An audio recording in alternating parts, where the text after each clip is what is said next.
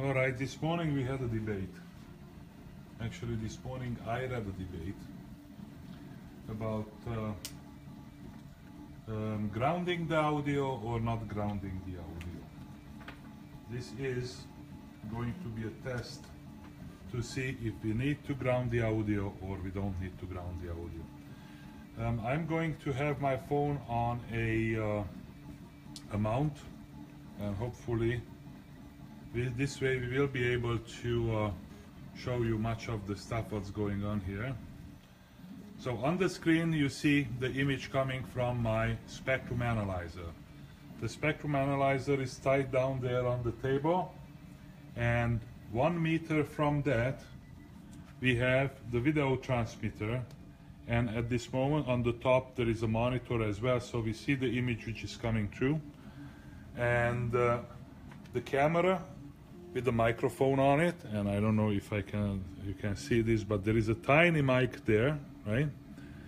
We have the audio signal connected but I also clip the cables here the ground and the audio so I can actually touch them when I need them to ground them together.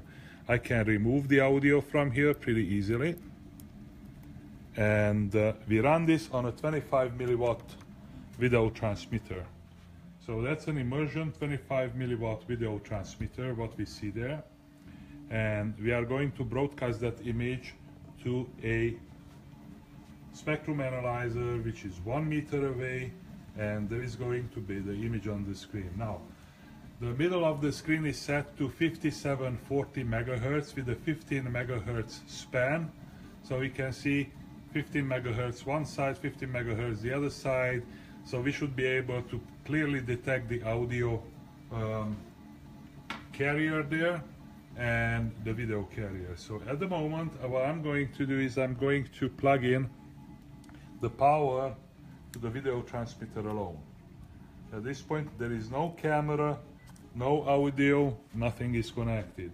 You see there is a black video coming through to the monitor. It used to be static a minute ago. And right there on the screen you see clearly in the middle a beautiful black video signal right? So this in the middle is our video carrier. There is no audio carrier anyway on this signal at the moment. This is our video. It's a black video. There is no video being transmitted at this point. That's why it's a beautiful shape like that. This one on the side that's probably coming from my wireless router, so ignore that at the moment. Okay? If we are going back to the transmitter, and at this point we are going to connect the camera with the video and with the audio on. At this point on the monitor, you can see that there is an image coming through and uh, I don't know if you can hear it, but I can somehow push the volume up on this one. I just didn't figure it out yet how, oh, sorry, wrong button. There, volume, up. If I go up with the volume, I can scratch the microphone or blow into it and we can hear that there is an audio carrier going on. At this point, if we turn our view to the display, you can clearly see that there is a video signal in the middle and on the left side of it, that's your audio carrier. So this is our video signal and that is our audio carrier there, right? Video signal is being kind of a flaky in the middle because that's the image what we are getting. If I cover the lens with a black uh, black foam like this and it's going to be black video transmitted take a look at that. We get almost the same image as we had before when there was no camera connected. And clearly on the left side that is where your audio signal is.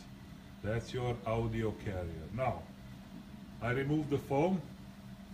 I'm gonna come back and I will remove the audio signal this time so the audio wire is out. I hope you can see it in my hand.